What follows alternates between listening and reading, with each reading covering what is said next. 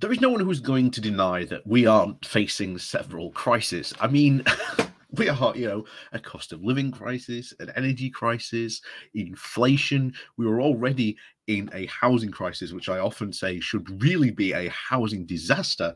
And Boris Johnson is going to accelerate that even more because he has sold off even more of the of the UK's well social housing stock.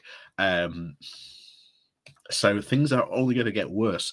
And I think we have yet to see the worst. And I often say on this channel, you know, we we we try to very much be all about the hope and try and be upbeat about what's going on and the like the solutions and but sometimes you've got to look at something and go, well, and unfortunately in this case, um, this is very, very much uh, these situations are very, very much a creation of the government's own making. We've had a Tory government long enough for this to be squarely on their shoulders. You cannot blame the previous Labour administration for any of the problems the UK is currently facing. This is squarely on them. They went into austerity. They doubled down on austerity. Uh, they did Brexit, knowing full well the economic damages this would do. But again, this still has been not proven to be any way favourable. As we've always said, when it comes to Brexit or even the cost of living crisis or even the energy crisis, the there are no ideas. It is an ideology that because we have Brexited, everything you know, should be on the up and up. It's going to be, you know, it's all going to be gravy from now on, but not the case, unfortunately. And this winter, in particular, uh, a lot of families in the UK are going to be hit very, very hard um, by all these crises coming together to create a perfect storm. So, uh, before we uh, head on over into the Yorkshire Bylines, uh, please do remember to hit that like, share, and subscribe button. And of course, down below there are links to my Patreon page and a one-off donation link called Buy Me Coffee. We can well buy me coffee. And as always, thank you very much to all the people who do help and support the channel that way. So, this comes uh, from the Yorkshire Bylines today with the title of "The Government's Food Strategy Heralds a Cold and Hungry Winter for Many." There are people who sail happily through life without too much of a thought for the future, simply responding to the next event that they encounter and never quite understanding why they keep repeating the same mistakes. Few people like that end up as Prime Minister. Boris Johnson has. When someone receives a vote of no confidence from over at least 40% of those who have worked most closely with him, it makes it takes a phenomenal capacity of self-belief and attempt to simply carry on as if nothing of any importance has happened. Rarely has such a self-belief been so totally unjustified by events which would be a huge problem for the country at the best of times. Unfortunately that's being encountered right now makes this a very long way from being the best of times for a majority of people Food prices have begun to rise, and some products, such as cooking oil, have already proven hard to find on supermarket shelves. And it only takes a quick glance at the figures for ag- agricultural production to realize that a prolonged war in Ukraine is going to have. pardon me, a significant impact on food on the food supply chain, which will then raise prices of key staples such as bread and pasta. And in particularly bread, it's worth noting um, revolutions very often happen when the price of bread reaches a certain point, and we have passed that point. Um, so, yeah. Um, so things could get very interesting, I think, this winter. Very interesting. Anyway, continues. Many commenters think the war in Ukraine will be long and slow and is likely to impact on more than one harvest. On top of that, there is a mounting crisis caused by multiple environmental emergencies striking at the very same time.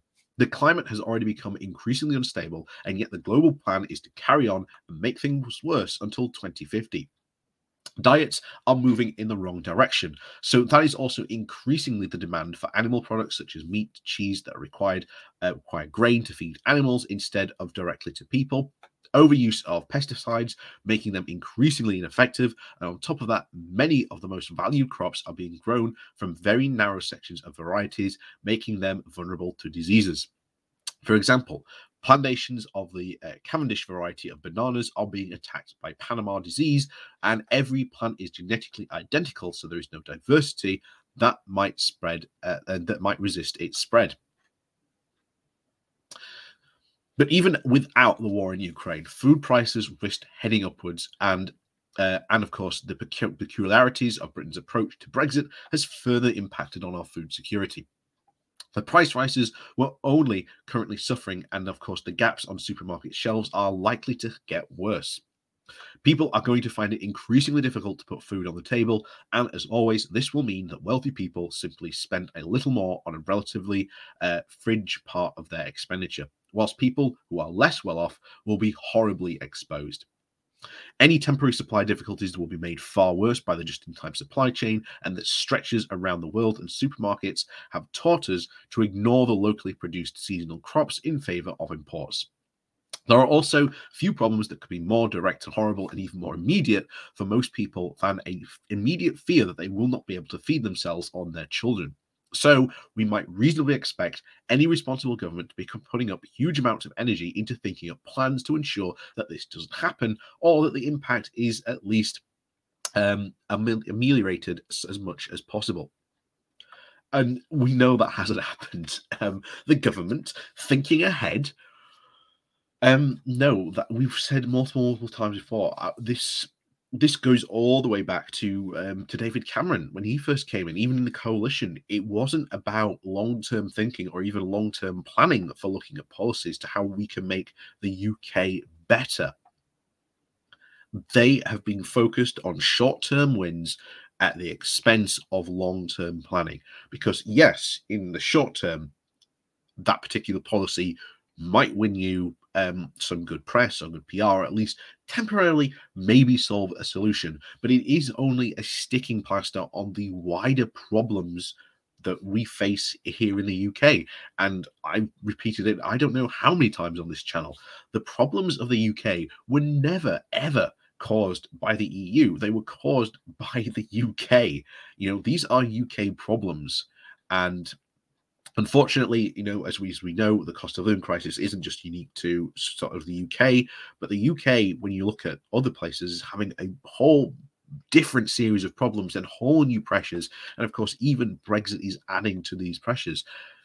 And of course, again, it goes all the way back to 2016 when it happened. When we do, when Brexit happened, it will increase a lot of pressures that we are already suffering from. You know, um, and it's it's diff- it's it's one of those things where you just look at it and just go, why is there no long term planning? And it's difficult to understand why there isn't. Um, but then again, that just might be unfortunate the nature of our government. Uh, the, Conservatives just figured out, well, we've only got four years, so let's just only plan for four years and not really think long term, which is very disastrous when you think about sort of planning for for anything. but anyway, I'll get back to it. So instead, uh, the government is issuing a white paper on food that ignores the advice of its own experts and replaces it with platitudes written by industry lobbyists. It is a white paper that does nothing to tackle the food poverty, nothing meaningful to change or improve diets, nothing that will make just in time food delivery systems more secure, nothing that will make food production systems more environmentally sensitive. Instead of offering long term solutions or even meaningful short term assistance, Johnson has taken to trying to fix the cost of living by making speeches about how it is wrong for workers to ask for pay rises. Yes, that is a thing that actually happened. it's shockingly enough, but there you go. Apparently, it is irresponsible for working people to tell their employer that their wages are no longer enough to buy groceries because of inflation. Johnson thinks it is more responsible for them to tell their children that they can't afford to provide food for them tonight. An inflationary spiral is a very dangerous thing. If prices go up, wages go up, and then prices go up again. And we are heading for some to into some very disastrous territory. Most reasonable people don't expect all the pain of trying to stop uh, of being absorbed by teachers, nurses, and zero-hour contract staff. They expect the government to think ahead and head off problems before they become acute. When it comes to energy prices, this government has uh, this, this government has, uh, has ignored all advice to get serious about insulating homes and even making sure that every school, office, supermarket, and warehouse was fitted with solar panels and heat exchange units until this day. And still to this day, it is refusing to explore this solution and is instead focusing on a subsidizing consumption, a policy that can never work, and he simply pays people to carry on buying and so pushes up the prices. Now we are entering into an equally bad, if not worse, food problem. The government is demonstrating an equal lack of forethought with its food strategy, and the only real plan appears to be to stumble on from crisis to crisis again. that is Boris Johnson's government in a nutshell, stumbling from one crisis to a crisis. you know, they couldn't they couldn't govern themselves out of a paper bag. They've governed themselves into. Um, and again, hope that something turns up.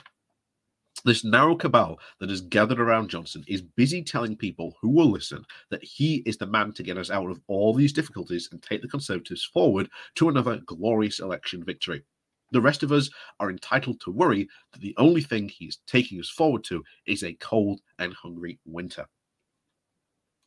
And that is a, a very really serious concern. Uh, what could happen this winter? I think it's going to be very bad for a whole lot of people. Um,